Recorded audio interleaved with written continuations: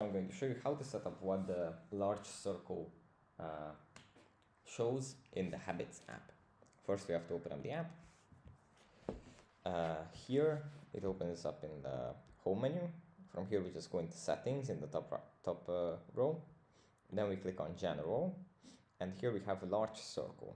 We can click on this and uh, we have three options. It's either count daily goals, count all goals, or don't display. Uh, if we set it to count all goals, all goals, it's going to going to take into consideration the weekly and monthly goals as well. Or if we click on don't display, then uh, there won't be a large circle anymore. Uh, yeah, that's basically it for this video. I hope it was helpful for you guys and I'll see you in the next one. Bye.